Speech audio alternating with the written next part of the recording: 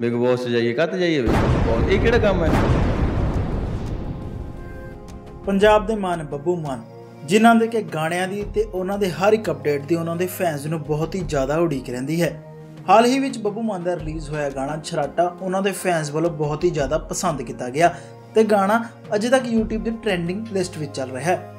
ਤੇ ਪਿਛਲੇ ਦਿਨ ਇੱਕ ਖਬਰ ਸਾਹਮਣੇ ਆਈ ਸੀ ਕਿ ਬੱਬੂ ਮਾਨ ਨੂੰ ਬਿਗ ਬੌਸ ਸੀਜ਼ਨ 13 ਵਾਸਤੇ ਆਫਰ ਆਈ, ਜਿਸ ਲਈ ਕਿ ਬੱਬੂ ਮਾਨ ਨੇ ਮਨਾ ਕਰ ਦਿੱਤਾ। ਹਾਲ ਹੀ ਵਿੱਚ ਬੱਬੂ ਮਾਨ ਨੇ ਇਸ ਗੱਲ ਦੀ ਪੁਸ਼ਟੀ ਕੀਤੀ ਆਪਣੇ ਇੱਕ ਇੰਟਰਵਿਊ ਦੌਰਾਨ। ਕਿਉਂ ਨਹੀਂ ਗਏ ਬੱਬੂ ਮਾਨ ਬਿਗ ਬੌਸ ਦੇ ਵਿੱਚ? ਆਓ ਦੱਸਦੇ ਹਾਂ ਇਸ ਵੀਡੀਓ ਵਿੱਚ। ਸਾਡਾ ਕੋਈ ਬੌਸ ਨਹੀਂ। ਅਸੀਂ ਕਿਉਂ ਜਾਈਏ? ਇਹ ਕੋਈ ਕੰਮ ਹੈ ਯਾਰ, ਬਿਗ ਬੌਸ। ਇਹ ਕਿਹੜਾ ਕੰਮ ਹੈ? ਬਿਗ ਬੌਸ ਜਾਈਏ ਕੱਤ ਜਾਈਏ ਬਈ? ਐਡਾ ਸੋਹਣਾ ਚੰਡੀਗੜ੍ਹ ਹੈ, ਇੰਨਾ ਸੋਹਣਾ ਮੇਰਾ ਘਰ ਹੈ, ਪੰਜਾਬ ਹੈ ਨਾ, ਇੰਨੇ ਸੋਹਣੇ ਖੇਤ ਹੈ। ਉੱਥੇ ਰਹਿ ਨਹੀਂ ਪਾਉਂਦਾ ਮੈਂ, ਮੈਨੂੰ ਔਖਾ ਹੋ ਜਾਂਦਾ। ਚਾਰ ਹਫ਼ਤਾ ਤੱਕ ਤਾਂ ਮੈਂ ਬੜਾ ਅੱਛਾ ਲਾ ਲੈਣਾ ਫਿਰ ਰੁਟੀਨ ਉਹੀ ਹੋ ਜਾਂਦੀ ਹੈ, ਉਹੀ ਟ੍ਰੈਫਿਕ ਧੂਆਂ। ਰਹਿ ਨਹੀਂ ਸਕਦਾ ਉੱਥੇ।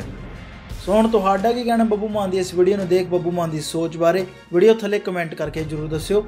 ਤੇ ਹੋਰ ਨਵੇਂ ਅਪਡੇਟਸ ਜਾਣਨ ਲਈ ਚੈਨਲ ਨੂੰ ਸਬਸਕ੍ਰਾਈਬ ਕਰ ਲਓ ਤੇ ਬੈਲ ਆਈਕਨ ਤੇ ਵੀ ਕਲਿੱਕ ਕਰ ਲਓ।